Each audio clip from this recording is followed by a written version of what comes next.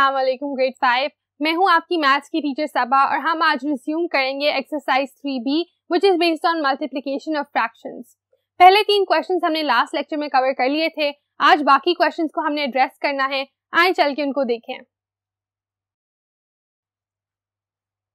First three questions को cover करने के बाद अब हम इस एक्सरसाइज के बाकी क्वेश्चंस को देखते हैं. क्वेश्चन नंबर फोर है work out with repeated addition using diagrams diagrams draw हुए हुए आपकी टेक्स्ट बुक में, आपने उनको देखना है, आप यहाँ पर भी पिक्चर में देख सकते हो।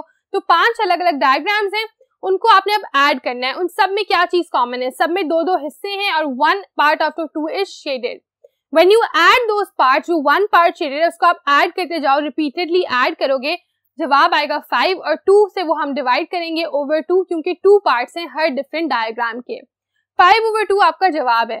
अब ये जो है इम्प्रॉपर फ्रैक्शन है, क्योंकि आपका न्यूमिनेटर बड़ा है डिनोमिनेटर छोटा है, लिहाजा आप इसको कन्वर्ट कर सकते हैं two whole one by two में बाई डिवाइडिंग दिस ठीक है? इस तरह से आपने उसको अब डायग्राम की सूरत में रिप्रेजेंट किया। अगला अगर हम देखें three into one by five फिर से आप अपनी टेक्स्ट बुक पे इमेज देखें यहाँ पे इमेज देखें वन बाय फाइव के तीन अलग अलग डायग्राम जो है वो ड्रॉ हुए हैं, सब में पाँच में से एक हिस्सा शेड हुआ है। इफ़ यू एड देम जवाब क्या आएगा? Three over five so this is how you have to do the remaining two parts of question number one इनको सॉल्व करें, हम चल के अब क्वेश्चन नंबर फाइव को देखते हैं। Now let's look at question number five. Question number five, यहाँ पर गलत लिखा हुआ this is question five question five का ए पार्ट है सॉल्व करना है आपने basically two over three into four जब आपको इस तरह से दिया जाता है, आप यहाँ पर एक वन को सपोज़ कर लेते हैं और फिर आप मल्टीप्लाई कर लेते हैं आपस में। तो two into four eight and three into one is three eight over three आ गया। इसको भी अगर आपने मिक्स फ्रैक्शंस में कन्वर्ट करना है, आप सिंपली डिवाइड करें, आपको मिलेगा two whole two by three जवाब and then you can write that अगर हम इसी क्वेश्चन का सी पार्ट देखें three over four into three यहाँ पर भी हम वन को कंसिडर कर लेते हैं three into three is nine four into one is four nine by four divide किया तो two whole one by four आपका जवाब आ गया। ई e पार्ट में five into one over six five over six और इसको फर्दर कुछ भी करने की ज़रूरत नहीं। अगला क्वेश्चन है, हमारा क्वेश्चन नंबर सिक्स उसमें भी सॉल्व करना है and reduce to the lowest terms two over three into six two into six is twelve over three इसको reduce into the lowest term करना है, यानी इन दोनों को आप देखें कि सेम नंबर से डिवाइड कर सकते हैं। दोनों डिवाइड हो जाते हैं थ्री से। Twelve divide by three is four three divide by three is one तो फोर आपका आंसर आ गया। Ten over two into two, अगर हम सी पार्ट को देखें, ten into two is twenty two नीचे एज इट इज़ आ जाएगा। इन दोनों को हम टू से डिवाइड कर देते हैं। जवाब आ गया ten. Lastly seven into two over seven seven into is fourteen fourteen over seven दोनों को हमने सेवन से डिवाइड कर दिया। टू आपका जवाब आ गया इन द लोएस्ट टर्म्स अगला क्वेश्चन जो है क्वेश्चन नंबर सेवन एक्चुअली सिर्फ़ जो है, वो आपका बिल्कुल सिमिलर है। इसी तरह से आपने इसको सॉल्व करना है। और खुद से आप कर सकते हैं। अब हम क्वेश्चन नंबर एट को देखेंगे। क्वेश्चन नंबर एट है ड्रॉ पेयर्स ऑफ़ डायग्राम्स अब उन्होंने आपको बताया है, आपकी स्टेटमेंट आपके पास है, कौन से पेयर ऑफ़ डायग्राम्स इसको सूट करेंगे, वो आपने ड्रॉ करने हैं। पहला आपका होना चाहिए one by five of one over two तो आप जैसा कि इमेज में देख रहे हो, आप जो है दो पोर्शन वाला एक डायग्राम ड्रॉ करोगे। उसका जो एक हिस्सा होगा, उसके फिर हमने पाँच हिस्से करने हैं और उनमें से एक को सिलेक्ट करना है based on this equation as you can see in the image above इसी तरह आपके पास अगर हम देखें one over two of one by five इसी का इनवर्स है, वो क्या होगा कि वन ओवर फाइव जो है, पाँच हिस्सों वाले एक डायग्राम में से एक शेड हुआ है और उसका भी आधा तो आप उसको शेड करेंगे as you can see in the next diagram now तो इस तरीके से आपने पेयर्स बनाने हैं। पहले आपने जो ऊपर एक्सप्रेस किया हुआ है, उसको शो करना है, फिर आपने जो नीचे एक्सप्रेस किया हुआ है, उसको शो करना है और इनको हम कहेंगे पेयर्स ऑफ़ डायग्राम्स क्योंकि दो डायग्राम्स आप इकट्ठे ड्रॉ कर रहे हो। आई होप कि आपको इमेजेस देख के समझ आ गई है कि इनको किस तरह से सॉल्व करना है। Also do that with next part हम देखेंगे अब अपना अगला question which is question number nine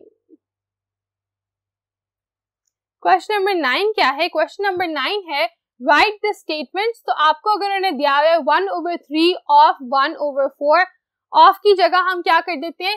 We do one by three into one by four and that's it that will be your answer आप इसको इस तरह से भी लिख सकते हो one third of one fourth क्योंकि वन थर्ड आप निकाल रहे हो वन फोर्थ का। That's what you had to do in question number nine इसका अगला पार्ट भी बिल्कुल इसी तरीके से कर लें, बहुत ईजी है। क्वेश्चन नंबर टेन है draw diagrams one over two into three by four इसका डायग्राम हम किस तरह से ड्रॉ करेंगे? पहले आप वन ओवर टू वाला एक डायग्राम ड्रॉ करेंगे just like you can see in the picture उसके साथ आप मल्टीप्लाई किसको कर रहे हैं पिक्चर में? थ्री बाय फोर वाले डायग्राम को। जब आप उनको मल्टीप्लाई करते हैं तो आप वन को थ्री से मल्टीप्लाई करते हैं दैट इज़ थ्री और आप टू को फोर से मल्टीप्लाई करते हैं दैट इज़ एट एंड जवाब आपका आ जाता है three by eight question number eleven में आपने देखना है कि क्वेश्चन नंबर फोर्टीन तक जितने भी आगे क्वेश्चन हैं, उन सब में आप यही कर रहे हो डायग्राम ड्रॉ कर रहे हो सॉल्व कर रहे हो मल्टीप्लाई कर रहे हो एंड सिंस हमने उसकी प्रैक्टिस कर ली है, अपने इंट्रोडक्शन वाले लेक्चर में भी पिछली एक्सरसाइज में भी तो इस वजह से अब आप इसको खुद से कंप्लीट करेंगे। And we will look at question number 15 क्योंकि वो डिफरेंट है। क्वेश्चन नंबर 15 है राइट मल्टीप्लीकेशन सम्स उन्होंने आपको दी हुई हैं स्टेटमेंट्स आपने उनके मल्टीप्लीकेशन सम्स बनाने हैं। Two fifth of five by six इसमें कुछ भी मुश्किल नहीं है। टू फिफ्थ यानी टू बाय फाइव ऑफ़ की जगह हम multiplication five by six solve उन्होंने करने का नहीं कहा, सिर्फ़ और सिर्फ़ आपको सम्स लिखने का कहा है मल्टीप्लीकेशन के। Three eight of five by six again three by eight into five by six तो ये हो गया आपका question number 15 question number 16 and 17 are also very similar वही मल्टीप्लिकेशन रेपिटेटिव बार बार हो रही है। हम उस पर साथ मिलकर और ज़्यादा टाइम स्पेंड नहीं करेंगे। You will do that on your own and we can now look at question number 18 question number 18 में आपकी टेक्स्ट बुक कह रही है वेरीफाइड डिस्ट्रीब्यूटिव लॉ अब there is a little error in the question क्योंकि distributive law में आपके पास addition का भी कोई ना कोई सम ज़रूर होता है। तो I think what they mean is कि verify associative law associative law होता है कि पहले आप दो अलग अलग वाले फ्रैक्शंस को मल्टीप्लाई करें, फिर तीसरे को करें और बाद में आप आखिरी दो को मल्टीप्लाई करें, फिर पहले को करें और देखें कि आपका जवाब सेम आता है या नहीं। तो अगर हम इसको देखें, पहले हमने one over two into one over four किया है so we got two by eight और उसको जब हमने वन इंटू फाइव से रिमेनिंग वाले फ्रैक्शन से मल्टीप्लाई किया है तो जवाब आया है two into one two eight into five forty इसको हमने सिंप्लीफाई कर लिया, दोनों को हमने टू से डिवाइड किया वन बाई ट्वेंटी हमारे पास आ गया आंसर अगर हम बिल्कुल इसी तरह पहले इन दोनों फ्रैक्शंस को, यानी वन बाय फोर और वन बाय फाइव को मल्टीप्लाई कर लें तो हमारे पास आता है वन ओवर ट्वेंटी फिर हम उसको मल्टीप्लाई करें, रह गया है जो वन ओवर टू उससे तो जवाब फिर से टू ओवर फोर्टी अगेन हम इनको टू से डिवाइड करेंगे. तो जवाब जो है हमारा दोनों केसेस में वन बाय ट्वेंटी आ रहा है. तो एसोसिएटिव लॉ जो है वो कंफर्म हो रहा है. और बाकी सब में भी अगर आप देखोगे पार्ट्स में तो you will see that it is being confirmed अगली बात है question number 19 solve and reduce to lowest terms कुछ भी नया नहीं है, लेकिन हम मजीद प्रैक्टिस थोड़ी सी कर लेते हैं. ए पार्ट को अगर आप देखो two whole two by five into three ऐसे जो हमारे पास फ्रैक्शंस होते हैं मिक्स फ्रैक्शंस उनको हम पहले इम्प्रॉपर बना लेते हैं मल्टीप्लीकेशन के लिए। Five into two ten plus two twelve over five आपका फ्रैक्शन है। इसको अब आप थ्री से मल्टीप्लाई करेंगे। ट्वेल्व इंटू थ्री क्या होता है? थर्टी सिक्स और फाइव नीचे आ गया। थर्टी सिक्स बाय फाइव जब आपके पास आया है, इनको डिवाइड करें। फाइव सेवन जार यानी सेवन होल नंबर है आपका थर्टी फाइव वन रिमाइंडर रह गया वन ओवर फाइव ये आपका आंसर आ गया।